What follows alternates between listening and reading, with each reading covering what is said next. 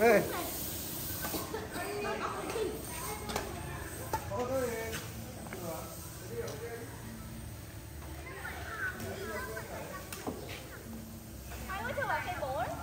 không sao. Nó xe bố, không sao cả. Xe bố có làm sao, đã có người sửa rồi. Không lo, nhá. Sơ đi.